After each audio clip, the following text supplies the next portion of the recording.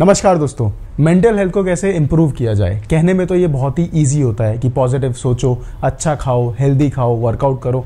ये सब आपने हर जगह सुना होगा, पढ़ा होगा। और मेंटल हेल्थ को कैसे इम्प्रूव करने के लिए काफ़ी वीडियोस भी देखे होंगे आपने। लेकिन कोशिश यही रहेगी कि इस वीडियो के एंड तक आते आते आपको मेंटल हेल्थ पर और वीडियोस देखने की ज़रूरत ना पड़े। मतलब कि ये आपका आखिरी वीडियो हो। और अपने पर्सनल एक्सपीरियंस से बता रहा हूँ, जब सिक्स वीक्स का बेड रेस्ट चल रहा था, तब मुझे मेंटल हेल्थ वाला ट्रिगर हुआ। तो सोचा, इस प्रॉब्लम से काफ़ी लोग डील कर रहे होंगे। वहाँ से मुझे इस वीडियो का आइडिया आया।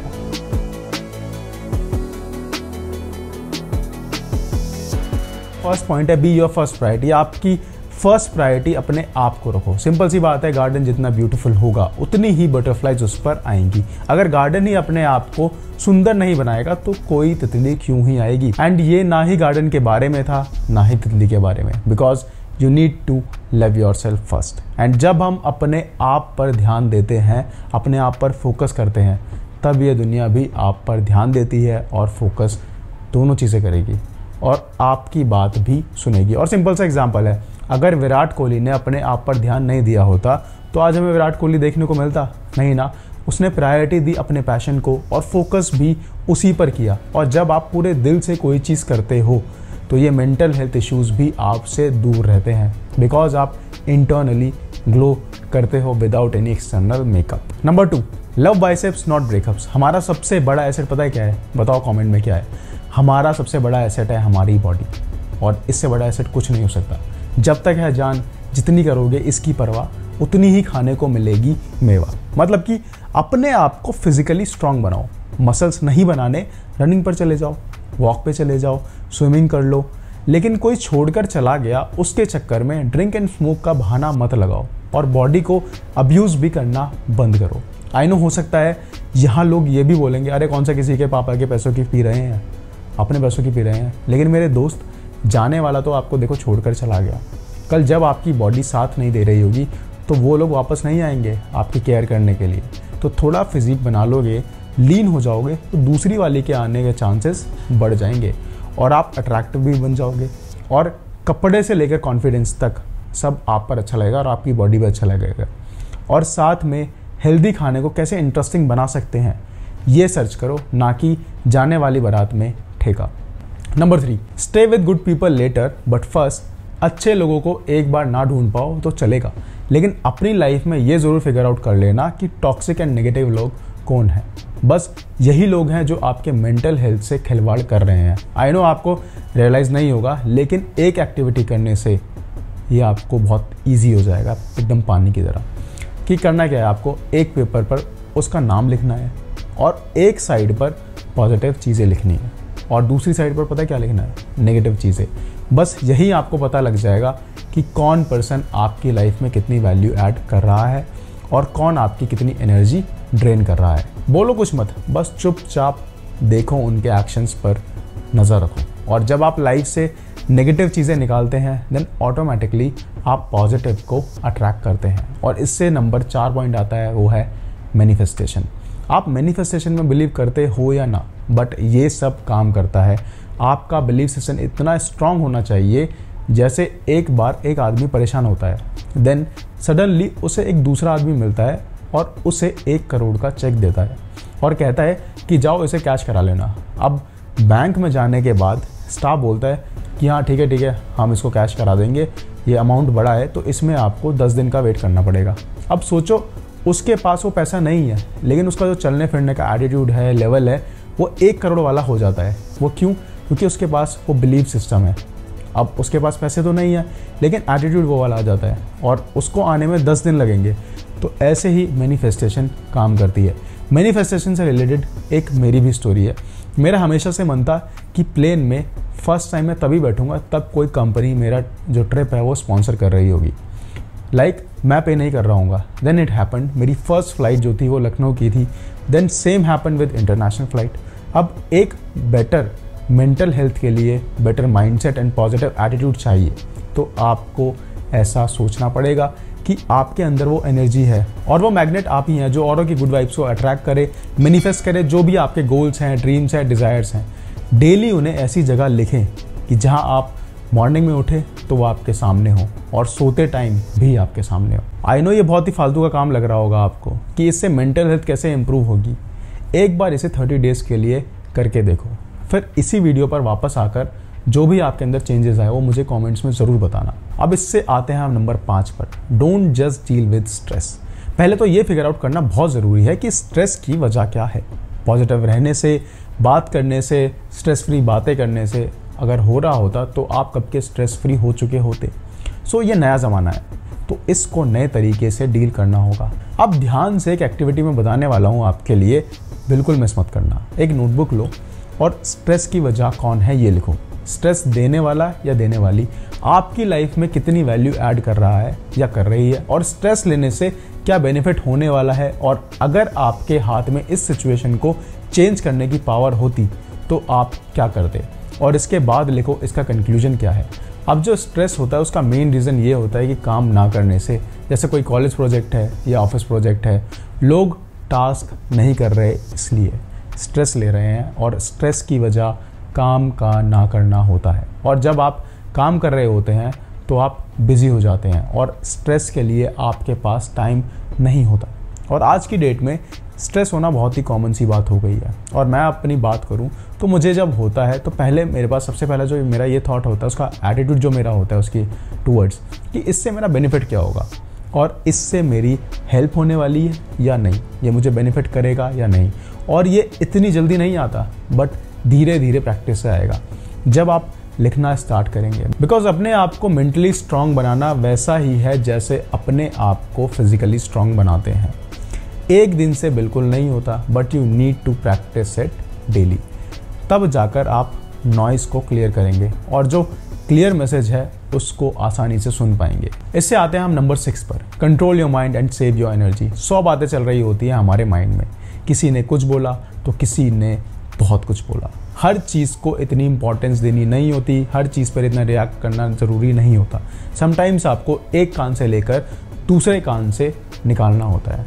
और जो आपका टाइम है ना, बहुत ही लिमिटेड है। एक बार गया तो ये वापस नहीं आएगा। एक बार को खोया हुआ पैसा वापस ज़रूर आ सकता है।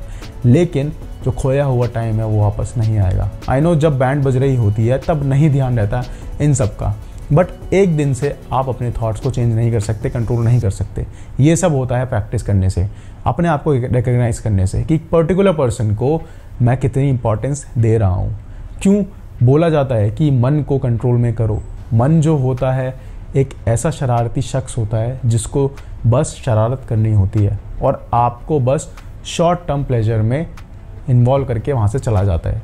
और जिसने इस मन को कंट्रोल कर लिया और इसकी सुननी बंद कर दी तो उसको इस दुनिया में कुछ भी अचीव करने से कोई नहीं रोक सकता। और ये मन कैसे कंट्रोल होगा, इसके बारे में बात करेंगे हम नेक्स्ट पॉइंट में, जो कि है chase goals but not butterflies according to one of the prominent research from unknown place ये पाया गया कि मेंटल पीस डिस्टर्ब होने का सबसे बड़ा कारण था बाबू ने सही टाइम पर थाना नहीं थाया। वेल जोक सपाट आपने ये बात को ऑब्ज़र्व किया होगा कि मेंटल पीस डिस्टर्ब होती है लोगों की वजह से, हमारे बेसलेस थॉट्स की वजह से एंड अनइमेजिनरी सिचुएशंस को इमेजिन करने की वजह से। लेकिन पर्सनल एक्सपीरियंस से बता रहा हूँ, जब आप अपने गोल्स को चेस करते हैं, तब आपके पास फालतू लोगों के लिए टाइम बिल्कुल नहीं बचता।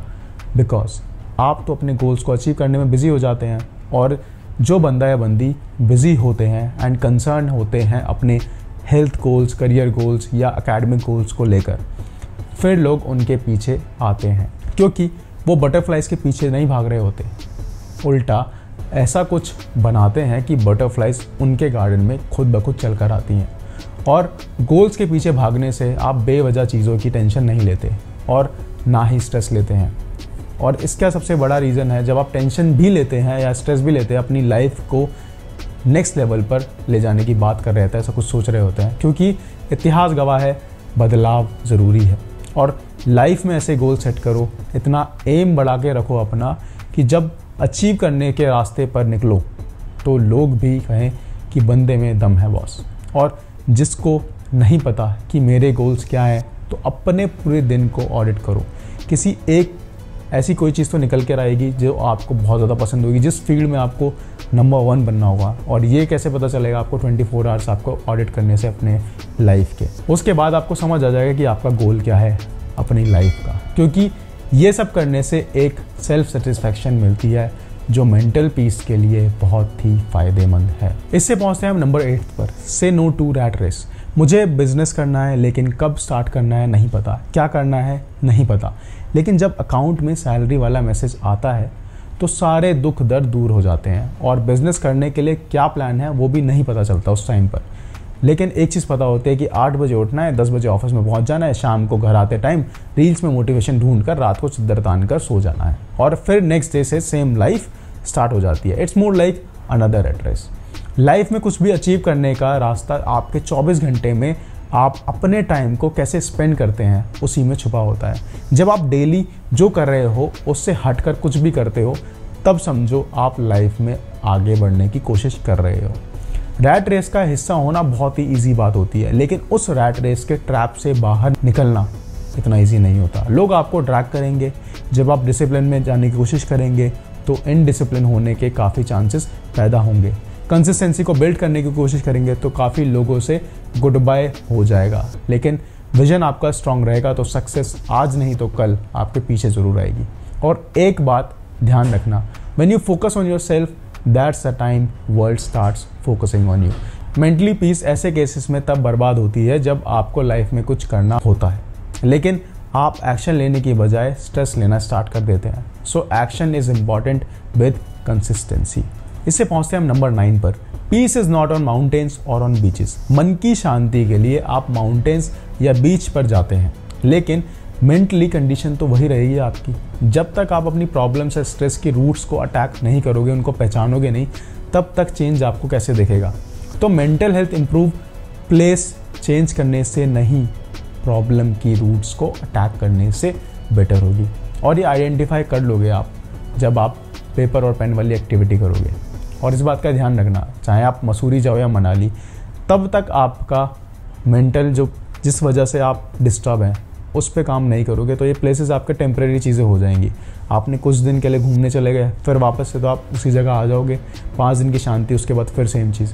तो बेटर ये रहेगा, जो आपका स्ट्रेस है। उसकी वजह क्या है? उसको तब तक आप जानोगे नहीं, तब तक आपको शांति नहीं मिलेगी। इससे पहुँचते हैं नंबर टेन पर। Care about what you do not what they think सबसे बड़ा है रोग, क्या कहेंगे लोग? और लोगों को तो कहना है कि भाई साहब अरेंजमेंट तो बहुत बढ़िया था, लेकिन शाही पनीर में पनीर ही मिसिंग था। जब तक आप अपनी ओपिनियन की वैल्यू नहीं करोगे और लोगों की ओपिनियन की परवाह करोगे, तब तक आप अपने आप को कोसते रहोगे और अपने आप को ही रोस्ट करते रहोगे। ओपिनियन लेनी भी है तो उन लोगों से लो, जो वो सब अचीव कर चुके हैं, या फिर उसी रास्ते पर हैं अचीव करने के। अब आप एक ट्रेन चलाने वाले लोको पायलट से प्लेन उड़ाने की बात करोगे और उससे पूछोगे तो वो तो यही बोलेगा ना कि भाई train is better than plane इसलिए आपके आसपास का सर्कल अच्छा होना बहुत ज़रूरी है। मेंटल पीस हो या मेंटल हेल्थ सब आप कंट्रोल कर सकते हैं जब आप प्रॉब्लम्स की रूट्स पर फोकस करते हैं। मिलते हैं नेक्स्ट वीडियो में। बहुत बहुत धन्यवाद।